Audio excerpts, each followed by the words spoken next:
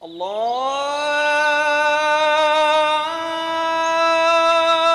akbar Allahu akbar.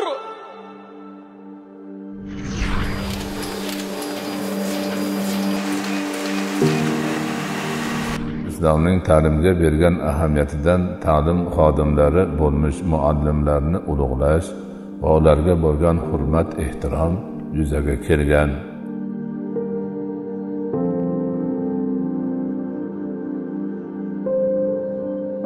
Mana shu masjidga shu inson ruhlarini shod qilib yaqin tariximizni ham joy joyiga qo'yish nuqtai nazaridan shuni tez sifatli va juda saxovatli qilib qursak nur ustiga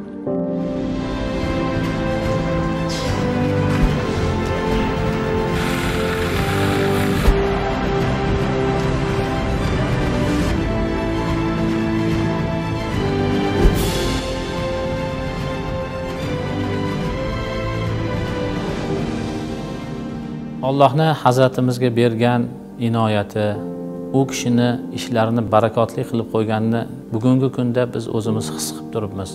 Hazrat bir o'zlari bitgan kitoblarni hozirgi kunda bir yuz yigirma kishilik hilol nasr jamoasi hozirgacha chop etib nihoyasiga yetgani yo'q.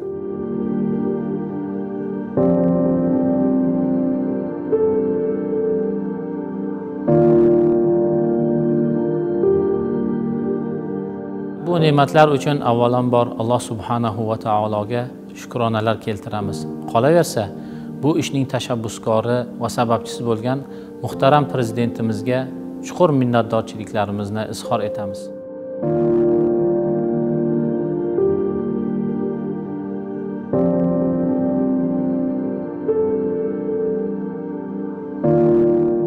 Ustoz va murabbiylar kuni munosabati bilan chin qalbimdan qutlayman. Ularga alloh taolodan olib borayotgan ishlarida muvaffaqiyat o'zlariga va oilalariga tinchlik xotirjamlikni so'rab qolaman.